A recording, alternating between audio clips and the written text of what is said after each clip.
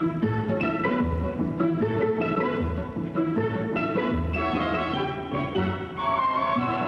of these people is a member of European nobility. What is your name, please? My name is Adrian von Holthausen. My name is Adrian von Holthausen. My name is Adrian von Holthausen. Only one of these people is the real Adrian von Holthausen.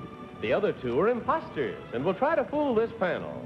Tom Poston, Peggy Cass, Orson Bean, and Kitty Carlisle. On To Tell the Truth with your host, Bud Collyer.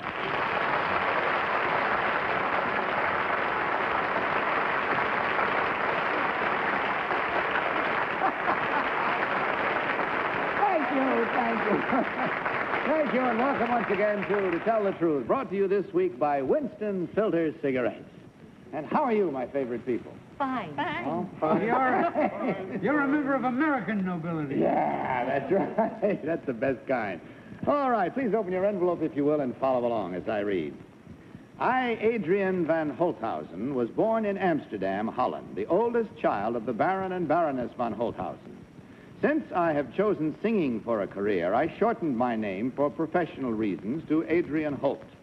My first big break came in Australia, where I was picked to sing in My Fair Lady. Currently, I am singing at the New York World's Fair in the Old West Texas Saloon. Signed, Adrian von Holthausen.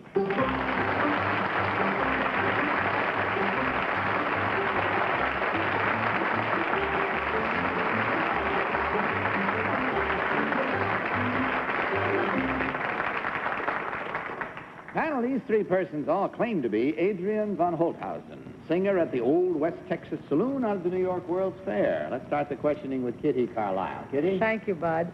Uh, number one, well, congratulations, all of you, on having been in one of the most beautiful musicals in the world. Uh, number one, what is the Almanac da Gotha? I don't quite understand. The Almanac da Gotha. Number one. I don't know. Ah. Uh, number two, uh, uh, who directed the Australian company of My Fair Lady? Uh, the uh, Australian company was directed by the same person that uh, did the, uh, the show here in America. Uh, number three, can you tell me what happened at uh, Doorn in Holland? Um, the, uh, the Kaiser, um, William, uh, he was exiled there in 1918. Thank you. Uh, Tom Poston. Thank you, uh, Bud. Thank you. Number three, uh, do you know what a, a log flume ride is? You ever heard of a log flume Um, ride?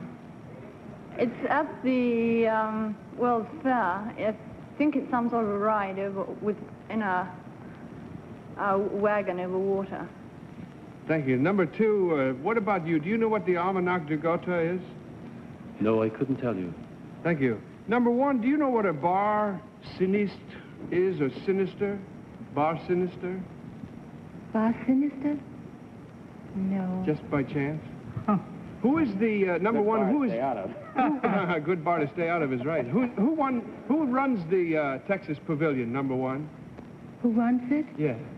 Uh, what do you mean, who runs this show? Or, Who or runs the whole pavilion, the whole Texas Pavilion? in charge? who's- Who's in charge? Uh, George Schaefer?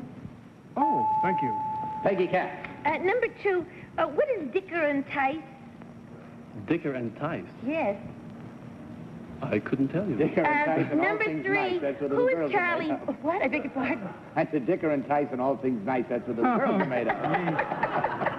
number three, who is Charlie Meeker? I don't know. Uh, number one, what do they sell on street corners in Wait. Amsterdam? the way we eat hot dogs, they sell something there that everybody eats. Do you know what that is? Which number? Number one. Number one. Number one? Yeah. I don't think so, no. You don't, no, I don't think so. Orson Bean. I don't know who it is, but I found a million unanswered questions. What do they sell on the street corners in Holland? What is the bar sinistre? Who is Charlie Dicker? I don't know. Tune in next week, friends. Find out the answers to these burning questions. Number, uh, uh, number two, uh, you are the son of the Baron and Baroness von uh, Holtheisen, all right? Uh, how, how are you folks? Are they still, uh, still living in the castle over there? No, they are not. Are they still uh, with us? Uh, Yes, they live at... I don't know what good it'll do me to know. Number three, uh, uh, how many shows a day do you do at the Texas Pavilion? I do five shows a day. Number one, do you do five shows a day, too? Yes, I do. And that's all the time we have. but you can take your laughs and whatever else you have and mark your ballots, if you will. Please mark them at once, without change, and without consultation. As you vote now for the one you think is the real Adrian Holthausen. Vote as you do for number one, number two, or number three. And our team of challengers will, of course, receive the usual $250 for every incorrect vote. All ballots marked, panel?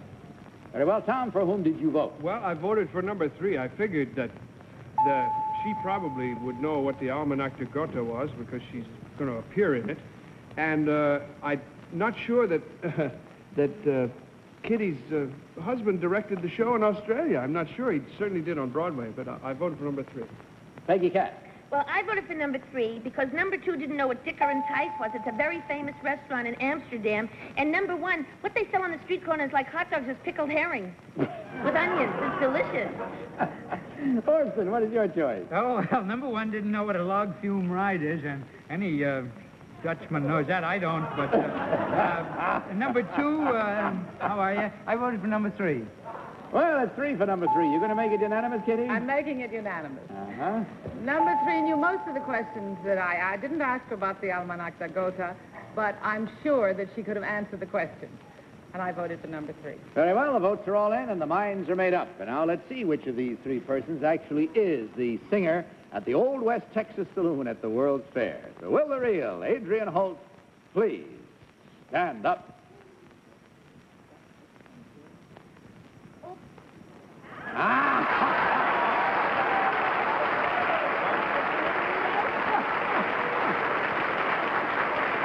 Thank you so very much. Thank you. Because he looked like he could have played Fred. I think it's interesting to note that the singer who is appearing at the World's Fair as Adrian Holt is actually Baron Adrian von Holthausen, whose title goes back to the 16th century, as a matter of fact. Kitty, you, I, I mean, Peggy, you had something bothering you. What was it? Well, just about that restaurant, Dicker and Tice is a very famous restaurant. Did you move away when you were little? I moved away when I was a child, yes. Oh, see, he never picked up the check there. How would you know? Number one, what is your real name and what do you really do? I'm Dorothea Jaffe, and I work at, at the Americana Hotel as a receptionist. Ah. And number three, you who packed away all of the votes, what is your real name and what do you do? Uh, my name is Lavender Musson, and I work as a product counselor for Skippy Peanut Butter.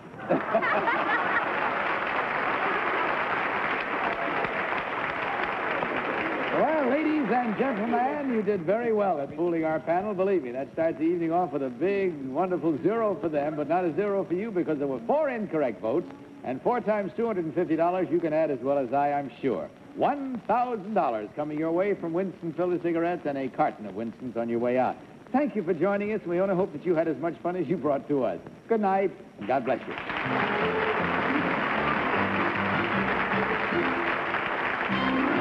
All right, panel, rest easy now, and let's all look at this brief. Our next team of challengers.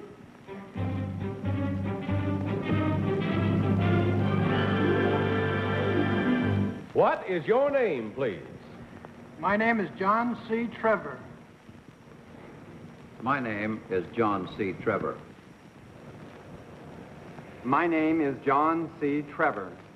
And will you follow along with your copies of this story, please, panel? I, John C. Trevor, am a paleographer, a specialist in the study of ancient manuscripts. In 1947, I was studying in Jerusalem when a Bedouin shepherd discovered some extremely old documents in a clay jar in a deserted cave. They were brought to me. I thereby became one of the very first scholars to examine and evaluate a great archaeological find, the ancient Hebrew manuscripts which came to be known as the Dead Sea Scrolls. Signed, John C. Trevor.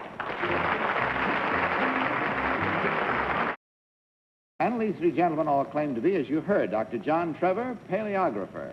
Let's start this cross-examination with Tom Poston. Tom? Thank you. Uh, number three, I would like to ask you, if I may, the greatest source of uh, manuscript information on the ancient Greek culture that is available to scholars today. I would say probably one of the greatest sources would be those which were found in Egypt, south of Cairo, papyrus documents. Uh, was there a library which was available, uh, number three, up to a certain period and was subsequently destroyed? Yes, What was the name of that library, if I may? there's a library in Alexandria. Thank you. Uh, number one, could you tell me uh, what the name of the people about whom the Dead Sea Scrolls were, uh, were histories? What was the name of the people? The Dead Sea Scrolls are, are uh, biblical writings. They record the history uh, that's in the Bible. What, were the, what was the name of the tribes or the peoples of, that, that were responsible for writing, transcribing, writing? The writing and transcribing the Bible, No, no, these, no, these- these scrolls, scrolls. these very scrolls. this, this was a, a sect uh, who lived uh, in, in a community of their own in a uh, Peggy Cass. area Oh. near. Uh, number two, where is the Book of Kells? The Book of Kells, Yes, that's in the uh, Mansfield Library. thank you. Uh, number three, what is Linear B? Linear B. I believe it is a kind of script that is um, from um, uh, Crete, if I'm not mistaken. Uh, thank you. Uh, number one, uh, I read about some Italian monks that are doing something interesting with old manuscripts. Do you know what that is? Haven't heard of it. Number three, have you heard of what those Italian monks are doing? I'm afraid I have not heard of it. Oh. Uh, number three, where do, you, where do you think the Book of Kells is? I'm really not sure. Thank you. Number... Orson Bean. Number two, who were the Essenes? The Essenes uh, were a Jewish sect who came out of uh, the period of uh, about 100, uh, 100 to 200, to 300 years before the fall of the temple. And uh, number three, uh, what? settled at this place where the scrolls were found, of course. And they were connected with the scrolls, huh? They're the ones who wrote the scrolls. Good. All right. Uh, number uh, three, uh, who who founded the great mixed baths of Caracalla? the great mixed baths of Caracalla. A little known fact of ancient I Don't know, huh? I'm All afraid I don't. What, what substance is used to, to peel these uh, scrolls apart? I've read descriptions of. Is there a se- is there a chemical used to to uh, separate the? No, you just have to work it apart uh, the best you can with little tools and by steaming it and so on. Kitty Carlisle. Number two, there's a monastery nearby where these uh, scrolls were found. Can you tell me the name of it? Uh, there is no monastery near where the scrolls were found. Uh, that monastery has been out of existence for several hundred years. It's, uh, it was at Qumran. Thank you. Number three, where are the scrolls now? Some of the scrolls are in the uh, Hebrew University in Jerusalem. Others are in the Palestine Archaeological Museum in Jerusalem. A few are in Amman, Transjordan. Uh, number three, do you know who Israel Katz is? I don't believe I do. Number two, do you know? I didn't hear the question. Israel Katz. Do you know who Israel Katz No, is? No, I do not. no. Uh, number one, when you found these scrolls, there was a great sort of, uh, uh, almost a, like a, a detective story about buying them. Do you know who finally bought them? And a great deal of money was paid. The uh, different scrolls were bought by different groups. They were bought by museums. That's all we have time for, unfortunately, because this is, I guess always will be, a fascinating subject. If we had more time to go into it, we might find out a lot more about it. But you found out all you, all you may for now. Simply on what you have discovered, mark your ballots. Mark them at once without change and no consultation permitted as you vote now for number one, number two, or number three. All ballots are marked. So, Tom, no, I'm not marked yet, sorry, I thought you all had. Gee, I, I'm really confused now. All right, Tom, for whom did you vote? I voted for number three. I liked uh, the answers that he gave until uh, came to uh, Peggy's questions, and then uh, there was a lot of hesitation there. But I voted for number three. Peggy, what is your Well, choice? I voted for number one because the Book of Kells is a very famous ancient manuscript, and it's at Trinity College, Dublin, and it's practically one of the big things it's known for. And also, the Italian monks are shooting new needles into the old manuscripts and giving them protein to keep them healthy. It's true. Bean. Well, they all look scholarly to me. Uh, I thought uh, I've read that there was some kind of a substance used to separate the things. I may be wrong. Number two knew about the Essenes, but number three wears glasses, and it seems to me that uh, you read enough of that old stuff, you know, your eyes could go bad easy. And Kitty, which one do you think is the real one? I voted for number two. Uh, number three had a tremendous amount of information, and I'm not quite sure that all of it was correct. I hope it's not you, number three. I wouldn't want to fuss around with a scholar, but I still think it's number two. Well, you're playing it a lot safer than the first round. At least this is as widely split as it can get. There are two for number three, one for number two, one for number one. With that, let's find out which one of these gentlemen actually applies to the truth and is the real paleographer. Will the real Dr. John Trevor please stand up? Ah, you were right.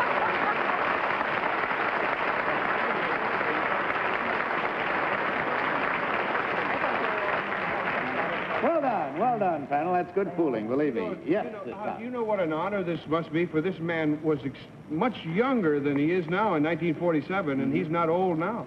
Oh, he's The good Lord has blessed me. Must have been a 17-year-old. tremendous thrill for you, though. It really must have. I, I assume you still are pursuing studies of these scrolls, are you? Yes, sir. It probably won't end for some time to come. I'm about to publish a book on them. Ah, wait, well, wait, well, wait that with great interest. Number one, what is your real name and what do you really do? I'm Alec Anderson. I represent Lockheed Aircraft Corporation in New York. Thank you, sir. And number two, what is your real name and what do you do, sir? My name is Whit Burnett, and I edit a magazine called Story. Well, we thank you and hope you have a good time because in checking the score, we find there were two incorrect votes and twice $250 is $500 from Winston Cigarettes and a carton of Winston's on your way out. Gentlemen, we thank you and we hope you enjoyed it too. Good night and God bless you.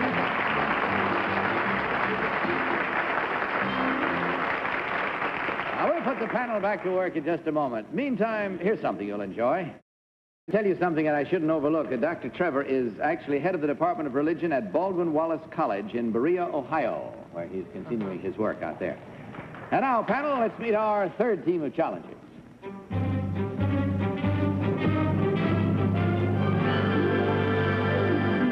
What is your name, please? My name is Gordon Campbell. My name is Gordon Campbell. My name is Gordon Campbell. Follow along with me on this story, if you will, please, panel. I, Gordon Campbell, am an authority on comic strips. My collection contains examples of some 2,000 different strips, many of them no longer in existence, and some of them dating from before the turn of the century. It contains such rare items as Foxy Grandpa, Buster Brown, Mutt and Jeff, Vintage Little Orphan Annie, and her grand old name was Maud, the Shenanigan Kids, and the first of all comic strips, the Yellow Kid. Mine is the largest private collection of comic strips in the world. Signed, Gordon Campbell.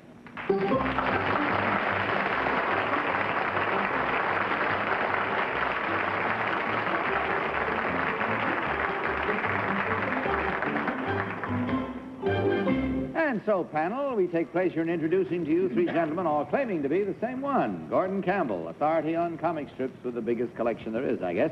We'll start this one with Orson Bean, if we may. Orson. Indeed you may. Oh, I know. I know everything about the comic strips. Whoever you are, you're in bad trouble. Now, number three, um, a question in two parts. Uh, who was Buster Brown's dog? Ty. Number one, uh, how come Little Orphan Annie has no eyeballs? That's the first part of the question.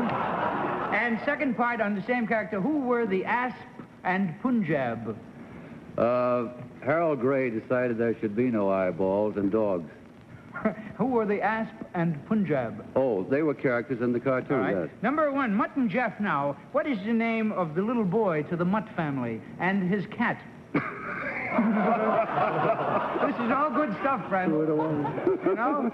All right. Number three, who appeared under the Mutton and Jeff Sunday? Oh, I need more time. I'll Gladly give you mine. Kitty Carlisle. uh, number three, who wrote the Katzenjammer Kids? Who are they? Who wrote that? Who wrote them? Who, who drew the strip? Well, there's been several artists on. Ah, thank you. Uh, number two, what is your oldest cartoon? The Yellow Kid, The Yellow Kid. When did that start? 1896. Number one, what caused you to uh, adopt this curious hobby? I'm a frustrated cartoonist. Tom Poston. Thank you. I, I'd like to ask a lot of questions. Number three, who is Ed Dodd? Well, he's a cartoonist. He does uh, uh, nature strip. Uh, Mark. Mark Trail. Thank you.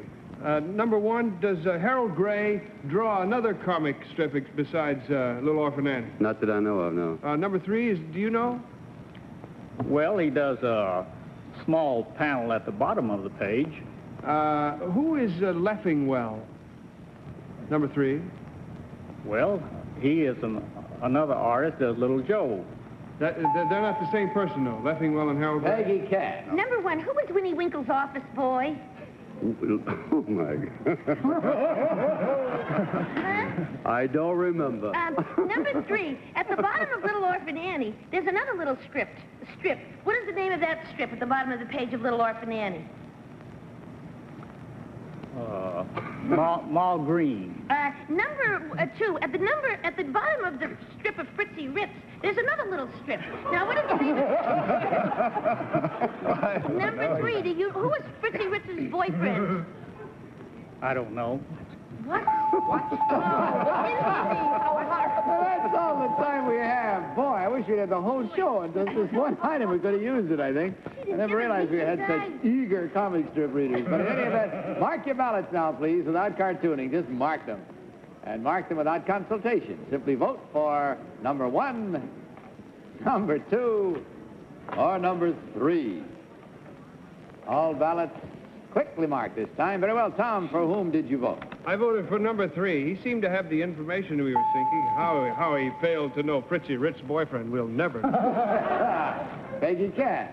I voted for number three because he knew about Ma Green, and I was impressed by that. I know about Ma Green, too. Yes.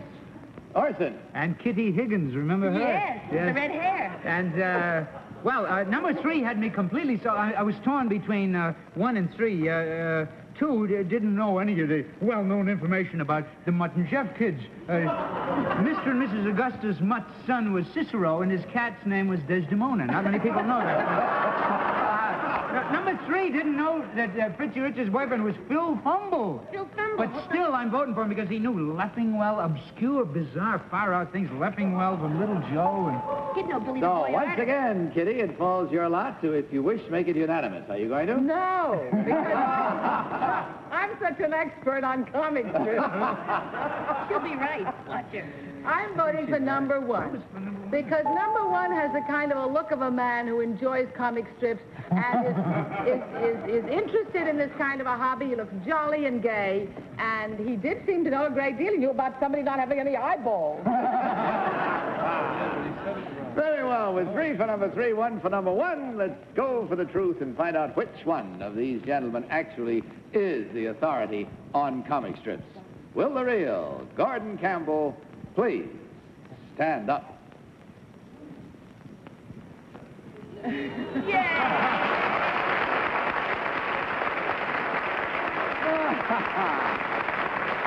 Well, it works more in your direction this time. Number one, what is your real name, sir, and what do you... My real name is Hal Rather. I'm a management consultant for Burry and Associates. Thank you, sir. Number two, what is your real name, and what do you do? I sell garden supplies for the Almora Sales Company in Union, New Jersey. My real name is Dick Tracy.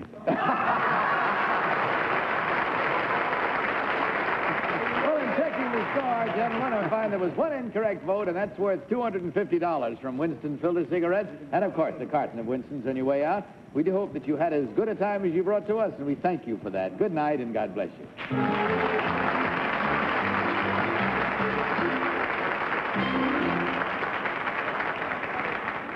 And now a word from Dentu-Creme.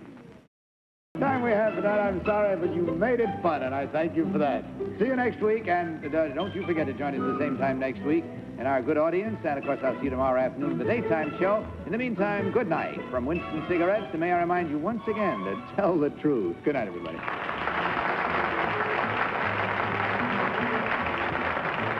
To Tell the Truth is a Mark Goodson, Bill Todman production. This is Lucille Ball, inviting you to join us for a half hour of fun on The Lucy Show. Tonight on most of these stations.